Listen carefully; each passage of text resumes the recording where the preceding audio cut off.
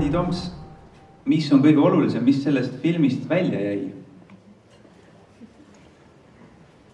seda on isegi väga raske öelda, sellepärast et, et eh, selle eluaja jooksul, kus eh, aastaid on juba niivõrd palju, on ju läbi elatud ja kõige eh, noh, raskem on see, et, et kui mälu veel töötab ja nii palju on meelde jäänud, siis muidugi on ka neid no ütleme, neid mälupilte muidugi oi kui palju, aga aga mis me siin nüüd täna nägime, ma ei tea, noh, kui ma nii-öelda tõsiselt mõtlen ja ütlen, siis minu osa või minu isik, ütleme siin, on noh, üsna kõrvaline selles mõttes, et, et see materjal, mis nüüd siin Hiinal nagu näha oli, mind üllatas isegi ääretult, sellepärast et, et ma nägin järsku ja hakkasin mõtlema, et kas ma tõesti nii kaua olen elanud ja, ja nii palju on eh, neid probleeme ja õiendamisi olnud, nii et raske on öelda, mis siit ära jäi. jah, aga kui Margit Mutsu juba siin ütles, et tund, kuus tundi oli filmilinti eh, nii-öelda vändatud ja tund oli siin, no ütleme, kui viis tundi nüüd juurde lisada, siis võib-olla jah, saaks kogu selle asja kokku neli tundi jäi puudu või viis tundi, et äh, loodame, et see materjal jääb ikkagi kuskil arhiivi, arhiivis tallele. Äh, nüüd ma küsiks Margit sinu käest, et äh, sa küll alguses juba lühidalt rääkisid sellest emotsioonide rikkast filmi valmistamise protsessist, aga mis, mis tunne sul omal praegu on pärast seda pikka-pikka rada, kas sa said sinna filmi koos oma meeskonnaga panna kõik need asjad, mis sa lootsid. Ja kas, kas sul on selline tunne, et midagi jäi tegemata, kui me jätame selle ajalise piirangu praegu kõrvale? no sellest materjalist oleks saanud, ma arvan, üks kolm eraldi filmi ja küsimus oligi, et mina ei ole kunagi teinud portreefilmi, et ma olen Peeter Brambatiga, me tegime kuskil tosin arhitektuurifilmi, mis oli rohkem sihuke arhitektuurikroonika, aga sellist portreelugu mina ei ole kunagi teinud. ja siis korraga, kui Petsi enam ei olnud, et siis oli kuidagi nagu üksi ja kõhe ja koos siis Kalle Käärikuga me seda kokku monteerisime ja, ja, ja otsustasime, et me, me valime nagu selle suuna, et, et me võtame selle Fredi nagu selleks persooniks, kes siis vahendab seda ajastut hästi palju, et millest, et me jätsime alles nagu kõik need lõigud, kus siis Fredi kirjeldas seda, seda tööprotsessi ja seda õhustikku ja seda, seda olemust, et noh, et millises taustsüsteemis siis see muinsuskaitse töötas too aeg. oota, aga mis see küsimus oli? Ma ise, unustasin juba ise ka vahepeal ära, mis ma täpselt küsisin, aga, aga ühesõnaga jah, et kas midagi jäi tegemata või midagi äh.... no ja muidugi oleks võinud teha ju tegelikult Fredist võiks teha sellise noh, rohkem isiklikuma loo veel, et, et kõik noh, selle lapsepõlve ja, ja noh, mille, millest me tegelikult ka filmisime ja rääkisime natukene. et noh, Fredi see kodupaik oli ju Sinimägede kõrval, siis põgenemine sealt selles suurte lahingute eest ja ja siis kõik need äh, Fredi, äh, noh hiljem ta tege-, sa tegid ju mitu seda mälestusmärki, Vabadussõja mälestusmärki ja, ja et noh, need, see oli nagu omaette põnev lugu. aga mingi valik pidi, pidi olema ja siis noh, need teemad saigi nagu pandud suurte plokkidena, et millest siis said nagu sellised suuremad teemad, et et ütleme, Vabaõhumuuseum, Lahemaa, noh, linnused, linnade taastamine ja noh, Nigulist oli eraldi siis ja, ja siis noh, seal ääristasid siis nii-öelda Fredi nagu see isiklikum pool. sa ütlesid, see oli sul esimene kord teha portreelugu või portreefilmi. Äh, te olete mõlemad äh, hariduselt arhitektid. Fredi on küll olnud läbi elu rohkem äh, restaureerimise ja muinsuskaitse suuna peal. sina oled äh, tegevarhitekt praeguseni, aga olnud seotud äh, meedia ja teiste valdkondadega ka, töötanud muuseas Sirbi arhitektuuritoimetajana. kuidas sa arhitektina tunned, kas oli oma erialakaaslasest raske teha filmi või mitte? sul muidugi pole võrdlusbaasi seal. mul ei ole võrdlus, võrdlust jah, aga ma arvan, et portreefilmi ongi raske teha või üldse dokfilmi, et et kui sa tahad nagu head filmi teha, et siin on kaks asja, et üks asi on see, et sa vaatad nagu, nagu arhitekt, et no esialgu mina pidingi olema see nii-öelda second opinion, et äh, arhitekti poole pealt ja, ja, ja Peeter Brambat, kellel on siis väga suur kogemus just dokumentaalfilmi vallas et noh, tema, tema oleks pidanud nagu seda vaatama filmi poole pealt. Ja kui ma nüüd mõtlesin, et mis see kõige raskem, siis tegelikult dokfilmi puhul ongi ju see, et sa peaks et oleks hea film, sa tahad seda pisarat, sa tahad seda emotsiooni, sa tahad, sa pead nagu kuidagi manipuleerima selle nii-öelda patsiendiga, sa pead ta kuidagi panema ebamugavasse olukorda võib-olla isegi või, või, või pärast lõikama need kaadrid välja, mis on võib-olla tema jaoks väga ebamugavad. aga kui inimene on nagu noh, ütleme su oma kolleeg, et su oma hea tuttav, kellega sa edaspidi ka suhtled ja käid läbi, et sa nagu ei saa seda hästi teha või et, et noh, sa pead olema kuidagi nagu diskreetne. et selles mõttes on see raske jah, et siin võib-olla pole vahet, et kas on siis nüüd arhitekt, võib-olla arhitektil äh,, arhitektist teha just nimelt nagu lihtsam, et sa tegelikult ju mõistad teda, et ja, ja võib-olla ma ei ole kõigega nõus, mida, mida Fredi arvab äh,, aga, aga ma mõistan teda, ma saan ta mõttekäikudest aru ja, ja võib-olla ma oskan tänu sellele seda ka välja tuua Fredi, kuidas teile tundub, kas Margit manipuleeris teiega või surus oma tahtmist liiga palju peale, kui ligidale ta teile pääses?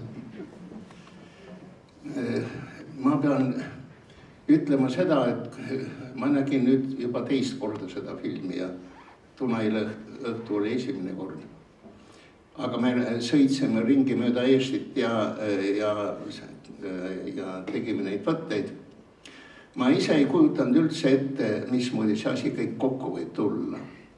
aga ma imetlen kõige rohkem seda, et, et kuidas suudeti kogu see, ütleme, see materjal niimoodi siiski kokku panna, et ta kajastab ju väga selgelt seda aega, millal meie restauraatorid Nõukogude võimu viljastavates tingimustes töötasime.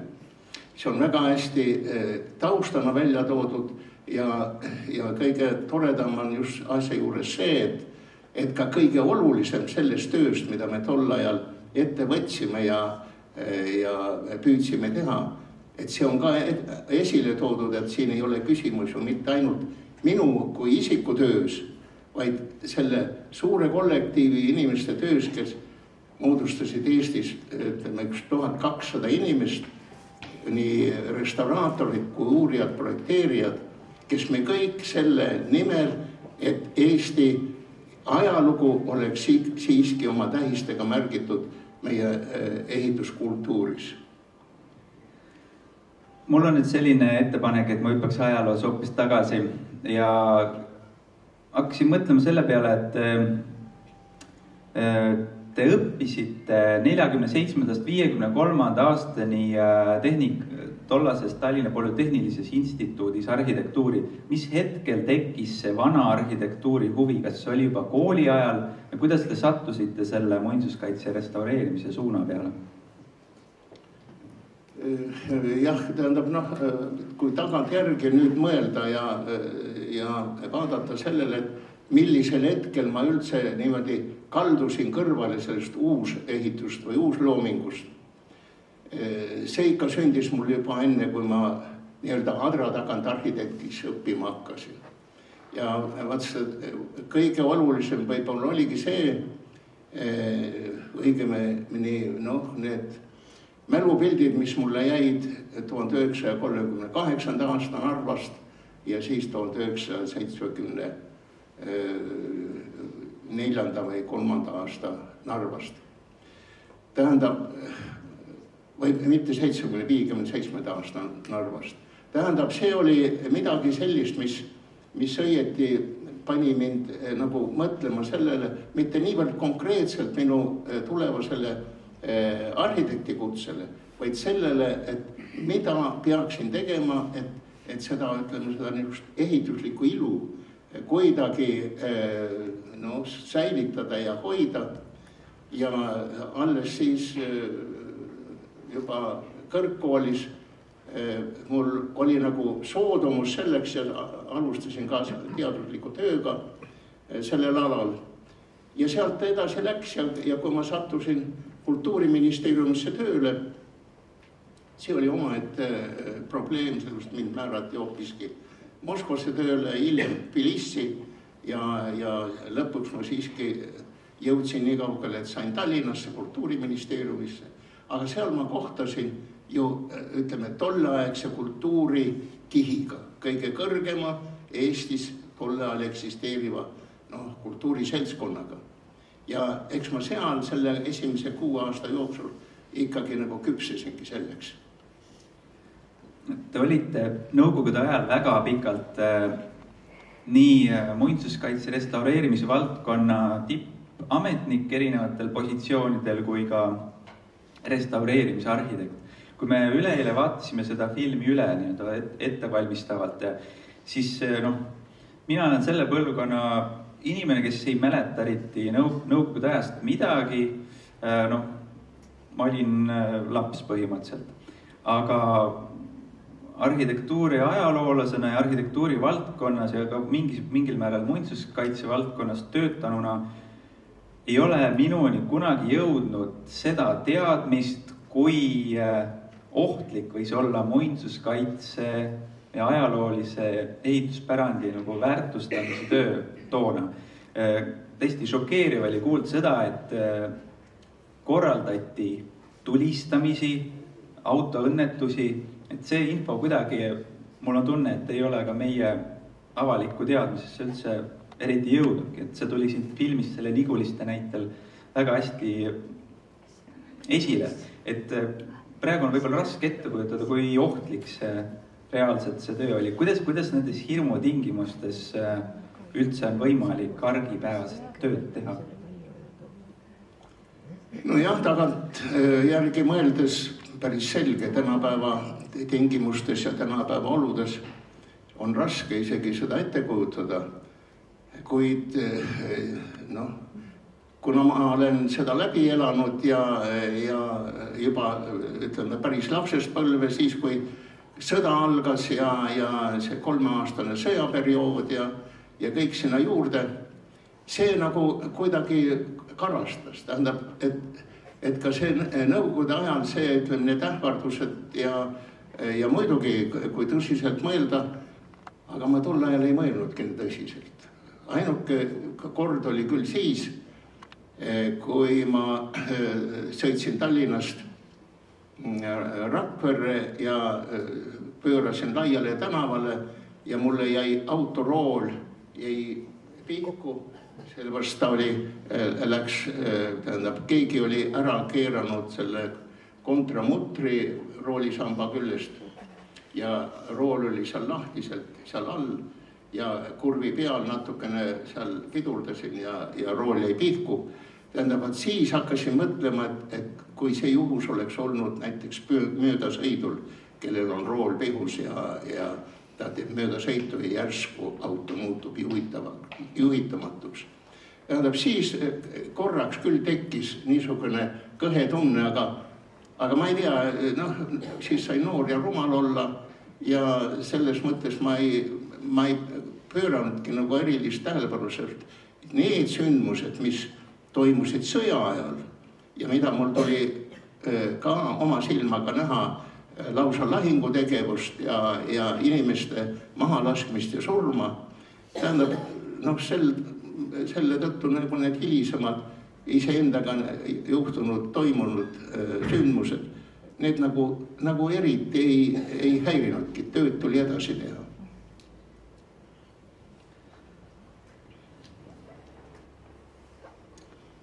tuleks nüüd konkreetsemalt muinsuskaitselise tegevuse juurde ja tõstataksin sellise teema, et äh,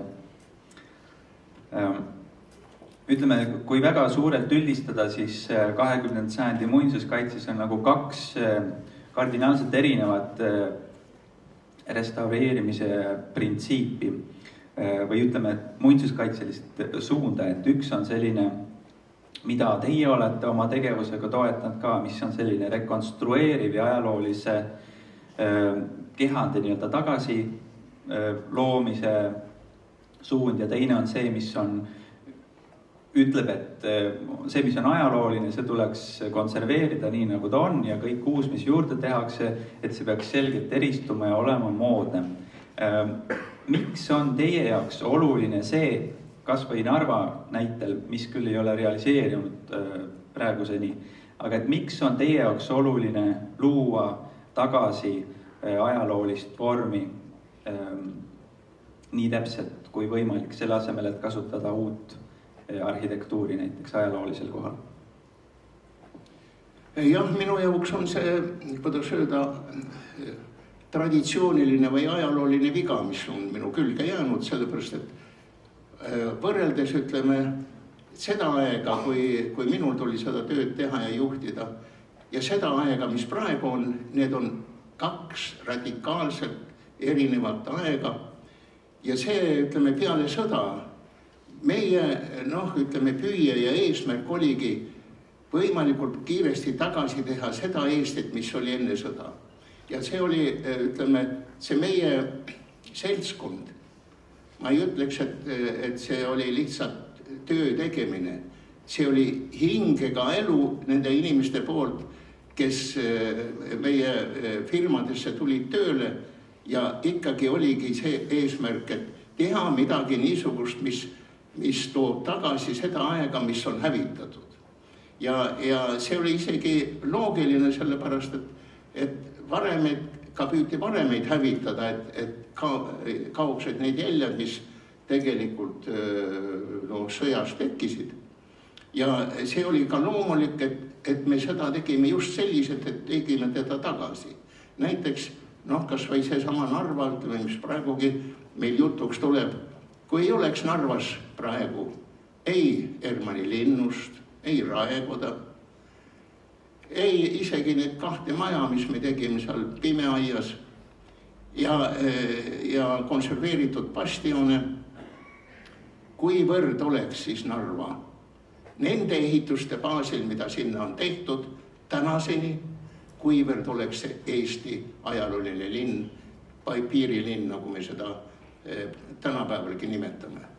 tähendab, see oli, see oli aeg, see oli niisugune aeg, mis, eh, mis eh, andis võimaluse meil tagasi teha ükstaskõik olid nad, ütleme Narvas, Kuressaares või kusagil mujal. ja ma pean ütlema, et ma tunnen uhkust selle üle, et need asjad niimoodi praegu edasi elavad. ja selge on see, et uus aeg, uued mõtted, uued ideed. ja aga see, mis on praegu juba olemas, mida te nägite ka siin, ütleme kinolinal. see on ja see on baas millele nüüd võime ehitada ka uued teooriad ja, ja ma leian, et kui me tänapäeval äh, vaatame neid küsimusi, et kas teha vana tagasi või teha uus ehitus, tähendab siis loogiline, et me mõtleme uuel viisil ja uuel moel. aga see baas, see on see töö, mida me tol ajal tegime, et, et Eesti oleks oma ehituskultuuri poolest omapärane ja rahvuslik, nii nagu ta kunagi meil ajaloo jooksul on tulnud ja ajalugu ongi ju meie rahvuskultuuri baasiks. jah, eks, eks, eks muinsuskaitselised äh, ideed tõepoolest muutuvad äh, ajas ja ajaloo jooksul sama, nagu te just kirjeldasite, et aga nüüd ma küsiks võib-olla Margitilt, äh, mitte filmi autori, aga arhitektina, et ma tean, et äh, teie büroost, mida te Madis Eegiga olete aastaid pidanud, te olete ka teinud, äh, vähemalt üks veski tuleb meelde, kuhu te tegite väga, väga moodsa vormiga asja sinna veski sisse, et siin on äh, Fredi Tomson teinud äh, ajaloolisi veskeid ühtemoodi, teie olete teinud äh, teistmoodi, kuidas, kuidas sina arhitektina vaatad selle äh, ajaloolise ja uue ühendamise teemale? no kui äh, Eesti ehitusi vaadata, siis minu lemmikud ongi just need, mis on vanast, vana baasil või kus on mingisugune vana substants alles jäetud ja siis sinna peale tehtud midagi täiesti uut ja täiesti moodsat. Et aga ma täiesti jagan ka, ka Fredi vaatepunkti, et ma lihtsalt nagu täiendan võib-olla seda Fredi juttu, et see aeg, kui Fredi töötas siis mida tehti nende ajalooliste hoonete asemele, noh, need olid ju tüüpelamud põhiliselt. ja noh, nende hirm oligi see, et kõik kaetaksegi nende tüüpelamutega, et siis ei tehtud ju sellist arhitektuuri, nagu me täna teeme. ja, ja ma arvan, et kunagi rääkis Rein Sober, et Tallinna vanalinn näiteks et seal on palju ikkagi äh, tagasi tehtud, et see ei ole kõik origina-, originaalsubstants. kuni selleni, et minu meelest oli see äh,, äh, oli see Linnateatri trepp, mis on, mis ei pärine üldse sellest kohast, mis on toodud ka hoopis kusagilt mingi mõisatrepp või kuskilt maakohast. et need pandi kokku, otsiti kokku, et see, see kord tehti niimoodi ja see oli, ma arvan, et see oli too aeg nagu täiesti õigustatud et noh, täna, täna ma, ma olen jälle seda meelt, et äh, võib-olla mingi noh, sõltub ju kui palju, eks ole, hoonest on säilinud ja kui ta annab ära restaureerida, siis ma olen täiesti seda meelt, et seda, seda võiks ja, ja tuleks teha. aga noh, ütleme, kui sa räägid sellest Eskist, siis äh, noh, mis teda tagasi laduda, kui keegi seal tegelikult kunagi jahvatama ei hakka ja kui ta uude, uue funktsiooni jaoks sobib nagu teistsugusena paremini ja ta ei ole lisaks ka veel muinsuskaitse all. Ja, ja, ja tellivus on ka nagu teine et äh, no kõiki asju ei pea ju tagasi tegema, mõnda, mõne asja võib ju edasi teha, ma arvan. ja miks mitte, ma ei võta siin seisukohta. aga, aga mm, ma pean säilitama siin neutraalset positsiooni, eks ju. kui sa lubad. ja palun. ma natukene jätkaksin sedasama teemat, sellepärast et teema on väga oluline, sellepärast et sellest oleneb väga palju, aga tänapäeval meil ei ole ju enam varemeid me oleme need varemed juba kõik korda teinud, kas oleme ära koristanud või oleme nendest midagi teinud. ja, ja nüüd äh, hilisemate, uuemate ehitustega muidugi tuleb mõelda teisiti, aga tähtis on see, et, et see ehituslik äh, noh, ütleme rahvuslik kultuur, ehituskultuur, et see siiski säiliks ja et me võiksime temast ka äh, no ütleme rõõmu tunda. Aga mis puutub nüüd ütleme selle sõjajärgsesse tegevusse ja nendesse, ütleme aastakümnetesse, mis me restaureerimises tegutsesime. ma tahan siin öelda, et ega seda me ei teinud ka nii, et ise siin Eestis mõtlesime midagi välja. muidugi töö tegime meie, tegime oma, oma käte, oma töömeestega. aga kuna mul oli võimalus mitte ainult piirduda siin Eesti või Nõukogude Liiduga. mul oli võimalus üsna palju, äh, äh, kuna ma olin äh, ICOMOS-i liikmeks, selle tõttu oli minult nagu väljapääs Nõukogude Liidust lihtsam ja, ja kokku ma olen käinud siit Eesti piiridest väljas kuskil ligemale seitse-kaheksakümmend korda. ja ma olen väga palju Euroopa riikides ja ka Ameerikas eh, nende samade probleemidega tutvunud, eh, mis tol ajal eh, ütleme meilgi olid.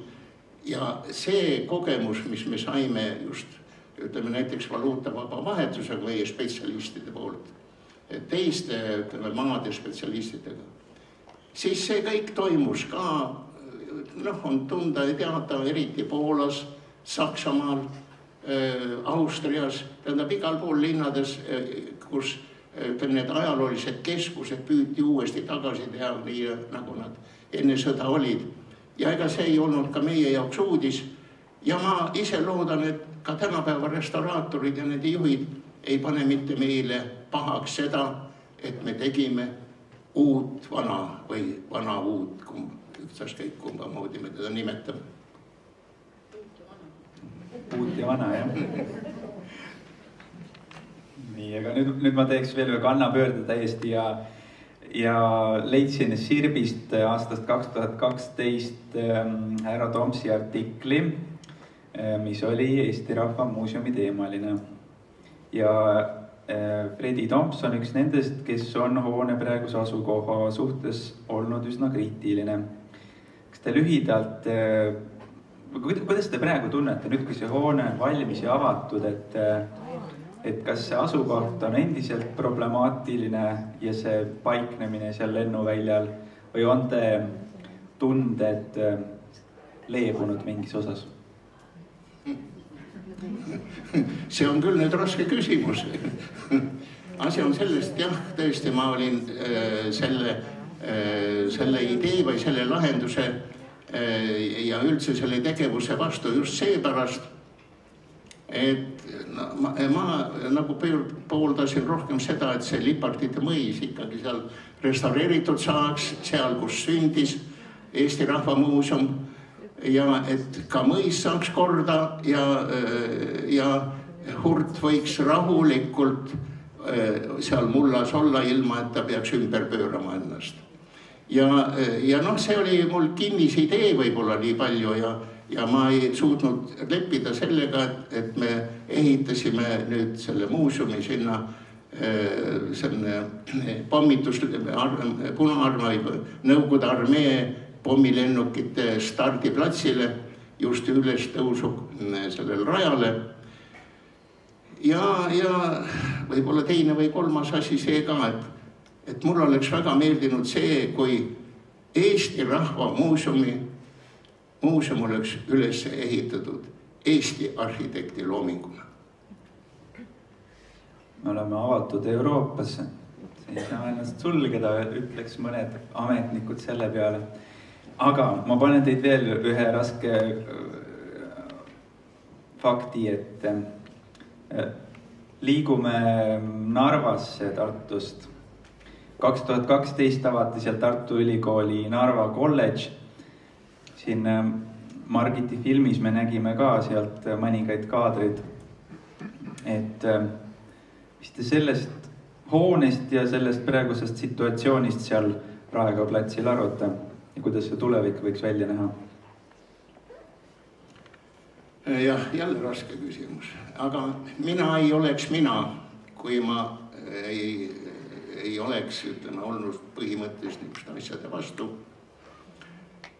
Ja jällegi, ma ei ole, ma ei kritiseeri ja ma ei analüüsi seda, seda hoonet, mis sinna on tekkinud, omaette asi. Ja omaette lahendus on tõesti püütud teha, mis on vähegi võimalik. Kuid tähendab noh, meil oma ajal, sel ajal, kui me, see oli juba, juba Eesti Vabariigi eh, uuesti sünni ajal, oli meie idee oli see, et, et me teeme tagasi eh, selle Raekoja eh, platsi koos siis Rüütli tänavaga nende tänava ääres olevate hoonetega kuni Peeter Esimese majani, kaasa arvatud siis Peeter Esimese maja mm, taasrestaureerimine. Need lahendused olid kõik olemas, ka eskiis või eelprojekt oli selle kohta olemas ja, äh, ja kõik see oleks olnud võimalik ja aga kahjuks oli niimoodi, et et see väga kõrgel tasemel võeti see hoone ehitamine ette nii-öelda väga ütleme nii tõsiste tugedega ja muidugi ei analüüsitudki üldse seda, kas teist või kolmandat varianti või võimalust on olemas. Nüüd ta on muidugi realiseeritud ja paratamatult me peame sellega leppima. kuid ka praegu on võimalik Rüütli tänavat siiski nagu no ütleme jätkata nii, et me ikkagi mingil määral saaksime ka ütleme niisuguse ansambli või ütleme linna tervikruumi ulatuses seda Narva, Narva nii-öelda barokkarhitektuuri näidata, sellepärast et tõesti, Narva oli ainukene, kus, kus me barokkarhitektuuri oli väga palju ja, aga nüüd see üks tänavakene seal, Rüütli tänav võiks olla tagasi tehtud, aga noh tänapäeval muidugi mul on väga raske öelda, et, et kas selle mõttega välja minnes üldse ütleme niisugust reaalset alust on. sest omal ajal oli, olid need võimalused meil äh, siiski nagu, nagu olemas ja, ja selle tõttu me olime juba harjunud, et me tegime neid äh, hooneid tagasi äh, igal pool, Kuressaares, samuti need Narvas vahesed ja, ja ka mujal tänapäeval muidugi on see probleem ja, ja ma ei saa nüüd seda öelda, et, et näiteks minu arvates see lahendus on lõplikult vilets. ta on meil olemas ja me oleme seda omal ajal hinnanud ja nii ta jääb ajalukku. aga juba praegu nüüd ütleme viimasel ajal, mis siin oli Narvast eh, juba juttu, juba on märgitud, et kaalukoda võiks tagasi tulla, on ta märgitud juba. Peet Peeter Esimese maja võiks tagasi tulla, sellepärast et see on ka juba nagu noh, ütleme nii otsustamise piiril. midagi siiski on äh, toimunud, ütleme nendes mõtetes ja, ja, ja kui sedagi, siis ma olen selle kriitilise mõttega rahul, mis ma kunagi avaldasin. aitäh. aitäh ähm,. vaatasin vahepeal kella, meil aega ruttab ähm, nüüd mul, ma tahaksin pakkuda võimalust publikule küsimuste esitamiseks, et kas, kas siis äh, Margitile filmi kohta või härra Tomsile äh, kogu tema tegevuse kohta. mul on küsimus tehnikameestele, et kas seda juhtmeta mikrofoni tohib publikusse anda?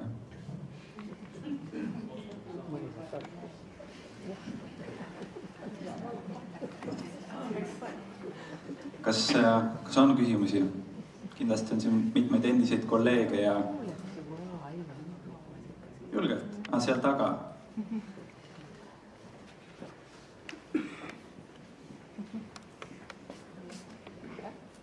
aitäh väga toreda filmi eest.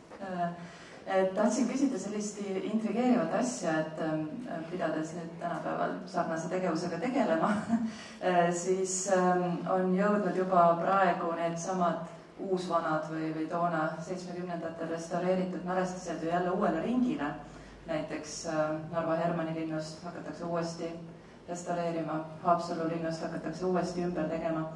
et äh, kuidas te suhtute sellesse äh,, see pole üldse teoreetiline küsimus, vaid täiesti puhtpraktiline, et kui nüüd hakatakse näiteks Narva Hermanni linnust uuesti ümber tegema, et äh, sellest äh, teieaegsest kihistusest need tegelikult üsna hästi teostatud ähm, sepistega puituksed ja, ja aknad ja, ja kõik selline asi, et see asendada nüüd uue ja moodsaga.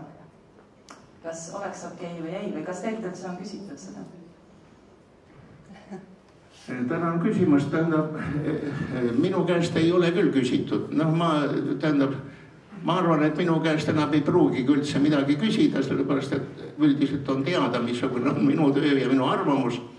Kuid küsimus ei ole mitte selles, tähendab, et äh, nüüd noh, niivõrd kui ma olen Narvaga äh, kursis, äh, ütleme see, ütleme mõte ja kavand ja tema ütleme selle linnuse kui terviku sidumine rohkem nagu selle linna kui tervikuga omaette ja, ja need lahendused ja selle nii-öelda supelranna loomine ja, ja kõik see, mis sinna tehtud on see on väga hästi kõik klapib ja on arvestatud sellega, et, et linnus ikkagi nii-öelda prevaleerib kogu selles linnaruumis ja, ja ka, aga mis nüüd puutub niisuguste vähematesse muudatustesse, ega te linnuse juures nagunii midagi eriti enam teha ei saa, sellepärast et, et seal võib ainult detailides teha ja, ja ümber ehitada või midagi juurde eriti ehitada seal enam ei anna.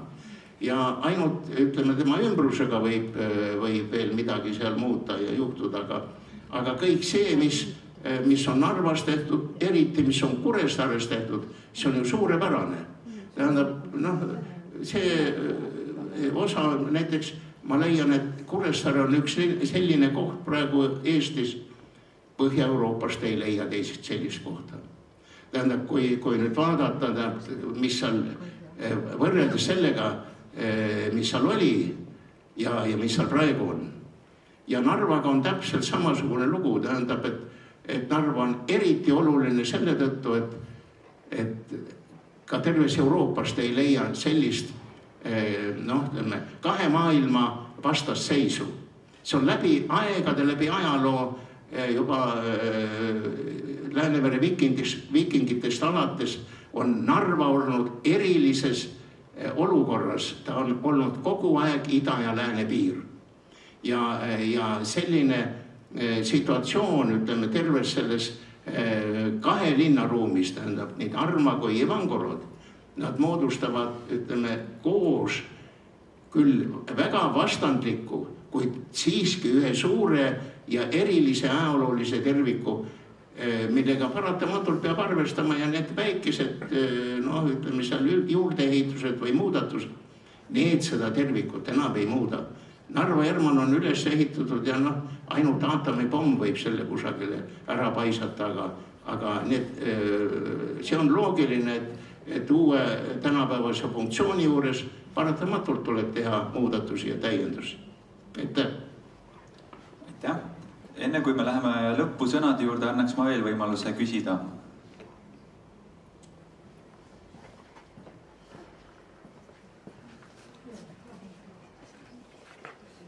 Aitäh ilusa filmi eest mõlemile. siin oli kõne all, et kas teha uus ja uus vana või vana uus või siis päris äh, uhkelt panna kõrvuti ja kolmas kontseptsioon on veel, millega me Eesti mõisate ühenduses kokku muutume, on see autentsuse probleem. et kolmas on veel, mis sellest näiteks paremale-vasakule sellest Tomsi jutust on, et see, et midagi ei tohi muuta, et kõik on püha, tuleb täpselt needsamad asjad, mida ta on, tuleb nad konserveerida, selliselt elule tagasi anda, kuidas seda kommenteerida?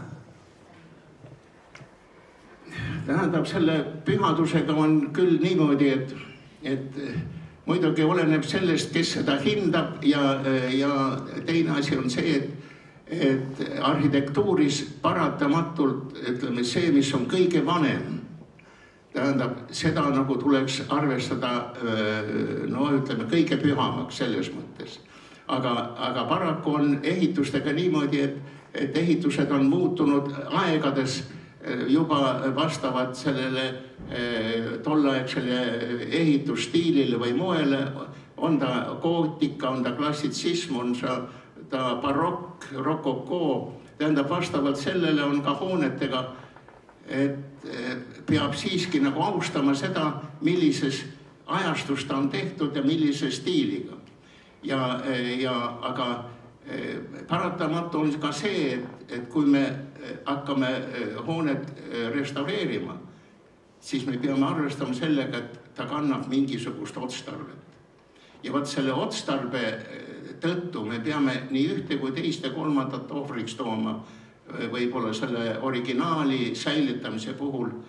aga põhimõte ikkagi nagu põhiliselt on see, et kõige vanem on kõige väärtuslikum ja, ja kui meil õnnestub Eh, seda vanust eh, niimoodi säilitada, välja tuua selles uuemas ja teistes eh, hilisemates ehitusperioodides.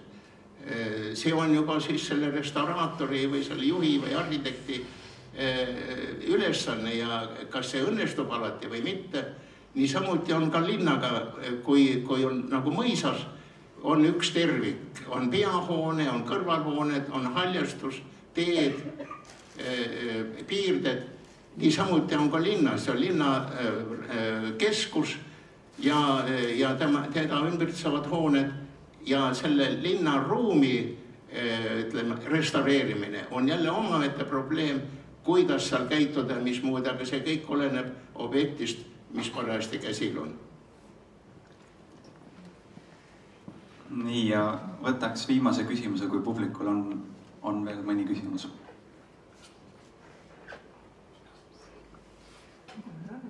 üks küsimus tuleb. kuidas te suhtute nõukogudeaegse arhitektuuri seisu praegu ja selle säilimisse või hävitamisse? jah, tähendab nõukogude periood on eh, meie Eesti rahva elus ja riigi elus või eh, tervikuna ikka päris suur selles mõttes, et pool sajandit me olime ju selles selles ajas ja nendes tingimustes. ja paratamatult noh, mina leian isiklikult küll, et, et seda perioodi tuleb ka arvestada ja, ja nii palju, kui mina tean, on ka seda tehtud. Ja, ja näitena ma võin tuua, mille suhtes ma juba äh, varem olen olnud sellel seisukohal et kõige suurem, ma olen ka Nõukogude Liidus veel palju ringi sõitnud ja, ja ajaloolistes linnades olnud, ka uuema aja arhitektuuri näinud seal, siis meil on üks pärl ja see on Sillamäe. Sillamäe keskus, kui, kui te seal ei ole käinud, siis tingimata minge vaadake. tähendab, see on üks suurepärane näide Nõukogude arhitektuurist Eestis ma küsin siia lõppu provokatiivselt, et äh, mis te linnahallist arvate?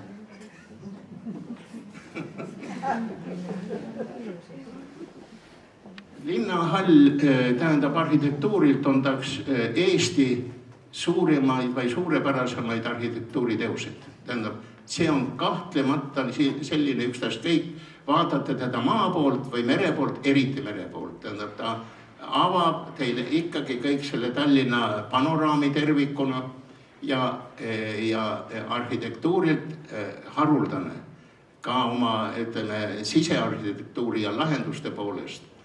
ja väga kahju, et temaga niisugune lugu on juhtunud, et ta nii kaua on, on olnud kasutamata ja, ja lagunenud.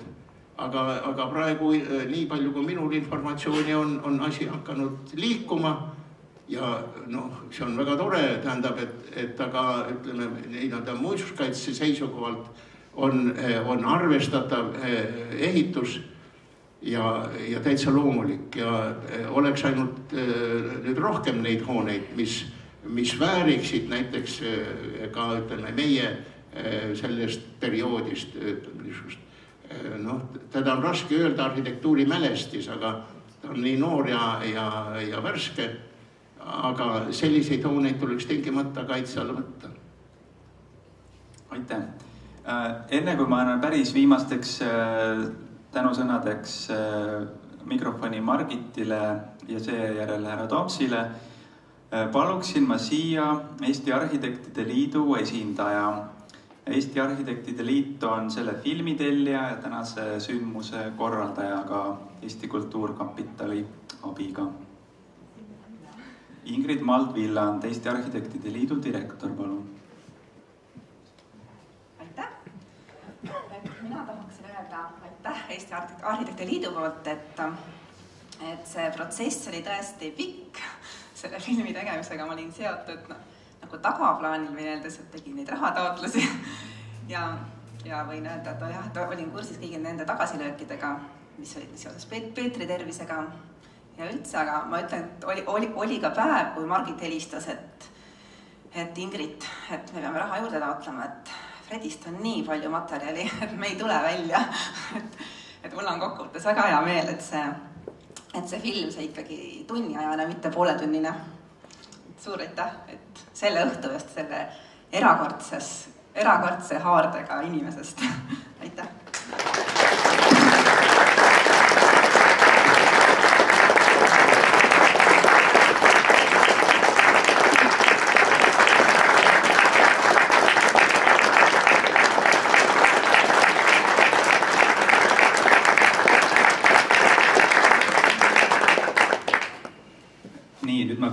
Paluksin Margitit, kas sa soovid lõpetuseks enda poolt midagi veel öelda?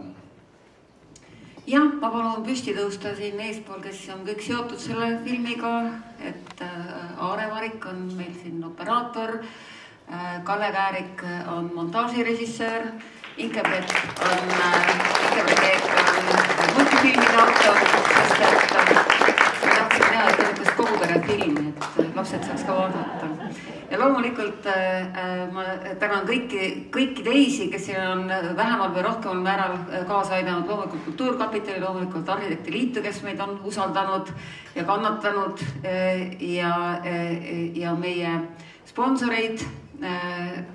täna vist ah, Rakvere linnavalitsus on esitatud ja, et jee yeah., et plaan on, et äkki Rakveres soovitakse ka näidata seda korra suurel ekraanil ja meil on lootust, et see jõuab telesse vist õige pea.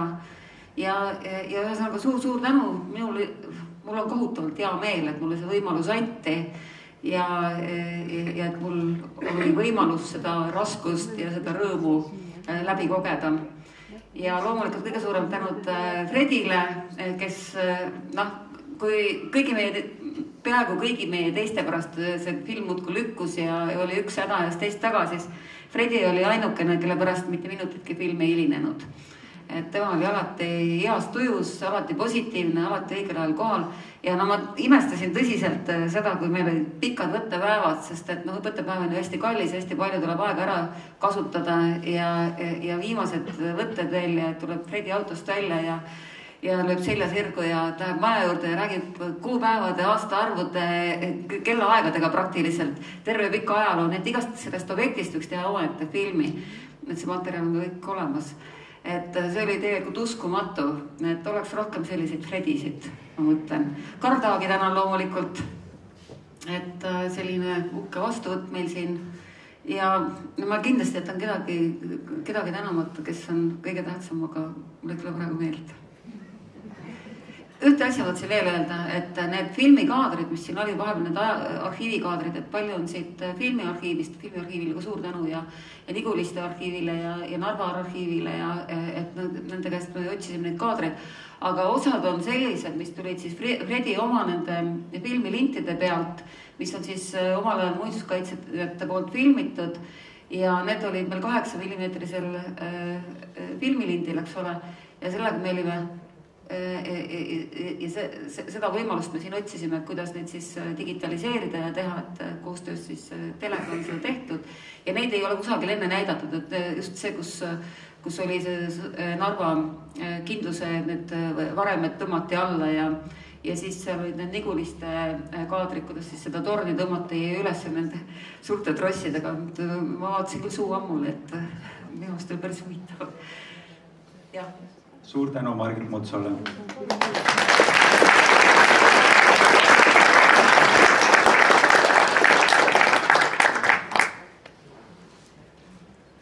no mida ma veel oskan öelda? mul on tohutult hea meel, et, et täna siin nii palju inimesi on ja, ja te olete tulnud eh, omast ajast siia, et olen sellise tähelepanu osaliseks saanud, see ei ole mulle sugugi tavaline ja ma olen, olen väga, väga, väga erutatud. aga ma tahan muidugi äh, ka tänada, tänada jah, kõigepealt Arhitektide Liitu, et, et ta üldse võttis kätte ja, ja leidis, et, et äh, noh, minusugust võib nagu midagi välja võtta. ma andsin nii palju, kui mul seda võimalust oli ma tahan muidugi kindlasti tänavada, tänada oma perekonda, oma äh, tütart Väimest, poega Miniat, nende lapsi, kes on aidanud mind jalul püsida, püsti seista, tegutseda ja, ja õiendada.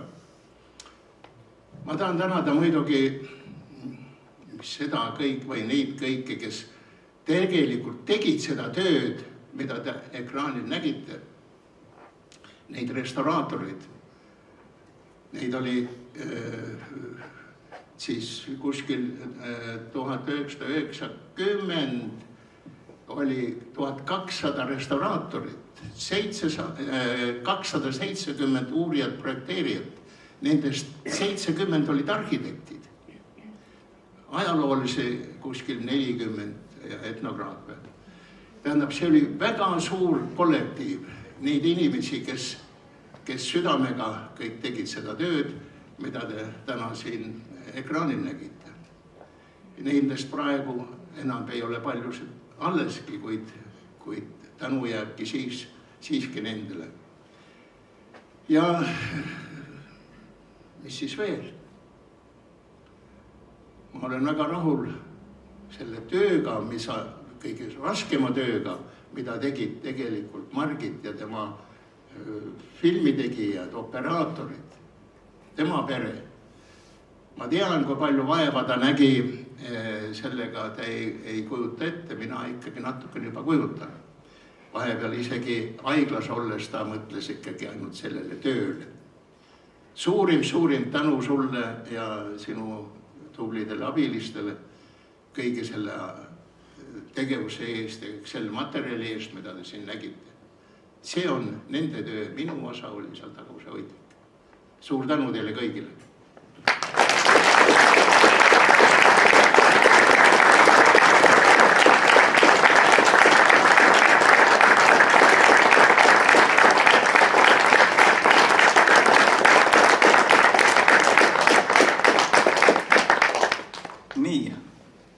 nüüd on see hetk, kus äh, võib toolidelt tõusta, me lükkame sealt tagant mõned toolid kokku, seal on äh, jooke, seal on snäkke ja siin suures saalis on meil äh, teile vaatamiseks Arhitektuurimuuseumi hiljuti värskendatud püsiekspositsioon. ilusat õhtu jätku ja aitäh tulemast!